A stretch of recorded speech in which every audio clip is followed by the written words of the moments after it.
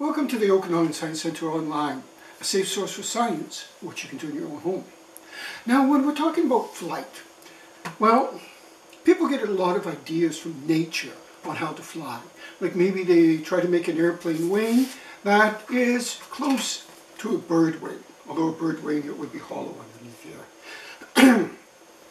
One of my favorite imitations of nature is a seed. Have you ever seen the maple seeds that spiral down? Just like miniature helicopters. To make one, take a piece of paper and cut it into a rectangle.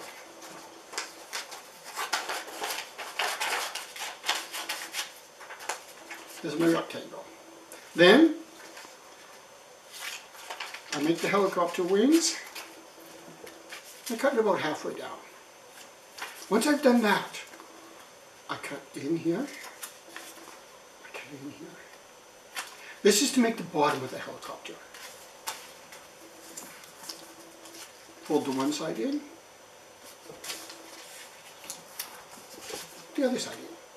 It's not quite finished.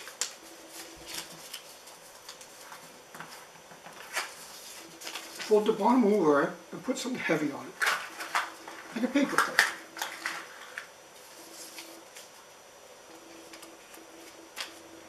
Fold one wing down here, the other wing the opposite way. Now to make it work, you stand up on the highest thing, all you do is hold it and let it go. And it helicopters down. Try your hand at making a paper helicopter. See how it works for you. Thank you.